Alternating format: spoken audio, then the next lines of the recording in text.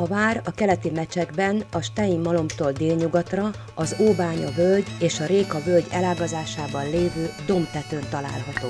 A vár építéséről nem maradt fenn adat, és egyes feltételezések az illír vagy kelta építkezést sem zárják ki. A vár valószínűleg még a tatárjárás előtt épülhetett, de régészetileg ezt még nem sikerült bizonyítani. A hagyomány szerint két menekült angol herceg, Edmund és Edward birtoka volt az említett terület. 1016-ban vasbordájú Edmund angol király elveszti trónját és fiait elűzi Angliából. Edmund 1047 körül elhunyt, Edward pedig Szent István király Ágota nevű leányát vagy hugát vette feleségül, és a házasságból itt született Margit, Skócia későbbi királynője és védőszentje. Az első adat Margit atyáról, száműzött Eduardról említi, hogy Magyarországon élt és Szent István király lányát, más források szerint hugát, Ágotát vette feleségül. Margit 1047. június 10-én született Magyarország, Reska vagy Nádast nevű településén, de születési helye a hosszú hetény és Pécsvárat közt fekvő Nádast, Kószavár is lehetett. Eduard a feleségével és gyermekeivel, Margittal, Krisztinával és Edgárral 1057-ben vagy kissé korábban érkezett Anglia földjére. A Hastingsi csatavesztést követően a bölcsek tanácsa utolsó kísérletként Anglia függetlenségének megvédésére a fiatal Edgár, Eduard és Ágota fiát, Margit testvérét választotta királyá, Azonban hódító Vilmossal szemben a gyermek Edgárnak nem voltak esélyei. Edgárd anyjával és nővérével, Margittal együtt Skóciába menekült, ahol harmadik Malcolm uralkodott, és 1069-ben feleségeként Skócia királynéja lett. Döntő befolyást gyakorolt a férjére, aki elhagyta a vad szokásait. Margit még a normandiaiak és a német földiek földhöz juttatását is kieszközölte annak érdekében, hogy támogatást szerezzen egy esetleges norman-skót háború esetére, de terve nem járt sikerrel. Skócia népe hálás szeretettel tisztelte Margit királynét, aki templomokat és monostorokat építetett. Segített a nyomorúságos szenvedőkön, és az irgalmasság emléket állított az emberek szívében. Margit 1093. november 16-án halt meg Edinburghban, és a nép körében azonnal szentként kezdték el tisztelni. 1261-ben negyedik Ince pápa avatta szenté. Nádast legkorábbi említése második András király 1235-ben Mázáról szóló birtokadományozási okiratában található. Maga az oklevél csak a hitelességében vitatott átiratban maradt fent, amelyet a Somogyvári konvent 1404-ben készített. Az oklevélben ez áll, hogy ennek szomszédságában elkezdődik a nádosdi britek földje, de Csánki Dezső szerint ez Terra Bissanorum, vagyis besenyők földje is lehetett.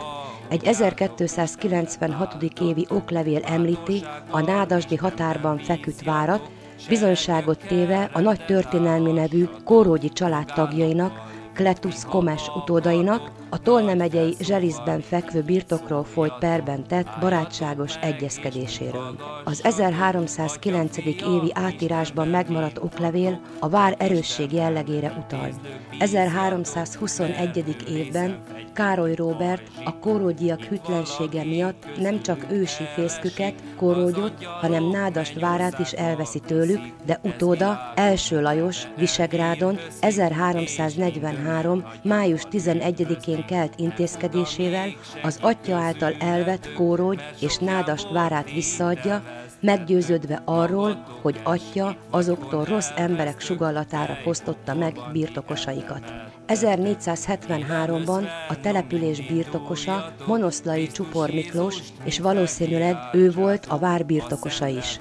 A 15.-16. századból már nem ismert olyan oklevél, ami a várat magát említi.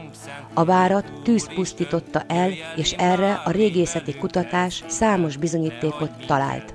Írásos emlék nincs a vár pusztulásáról, annak korára a régészeti feltárás adatai utalnak. Ez történhetett a Mohácsi csata után, esetleg a két király híveinek belháborújában. A régészeti kutatás nem talált 1526 utánra keltezhető anyagot. Az 1810. évi Vizita Kanonika a romot Rákvárnak mondja, és ekkor még több fala is állt. 1963-ban Pap László régész feltáró ásatásokat végzett a területen. A kutatás szerint 205 méter hosszú, a legnagyobb szélessége 36 méter, és a megközelítően viszintes várudvalt körös körül kerületében mintegy 415 méter hosszú, 3 méter vastag, épp állapotában a 3 méter magasságot meghaladó terméskőből mézben gazdag, habarcsa rakott fal szegélyezte. A kőfallal kerített várudvarnak közepetáján keresztbe szelő építménysor és az emellett végig húzódó, 10 méter széles, 1,5 méter mély árok a várudvart kezdté osztotta. A középső faltól nádast felé eső rész külső várnak tekinthető, míg az óbánya felé nyúló szakasz a belső vár szerepét tölthette be. Feltételezhető, hogy a középső épületsor romjai az egykori, szerény palota maradványát őrizték meg.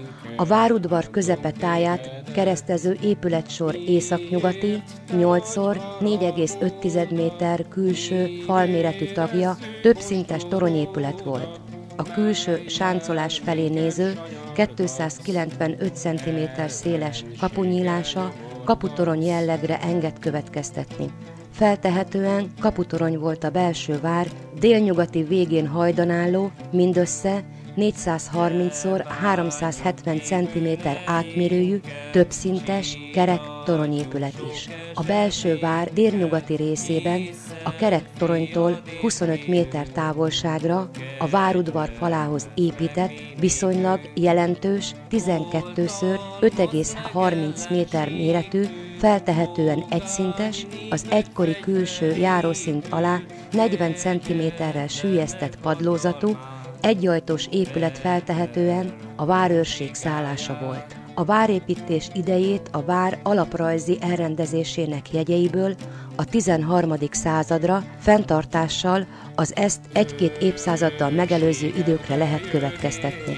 A későbbi 14.-15. századi átépítésre utalnak a korhatározás szempontjából megtalált téglák és téglaméretek. A vár Szent István kori keletkezésére vagy fennállására, használatára a leírt, felderítő ásatás régészeti, műtörténeti forrásanyag értékű bizonyítékokat nem hozott napvilágra.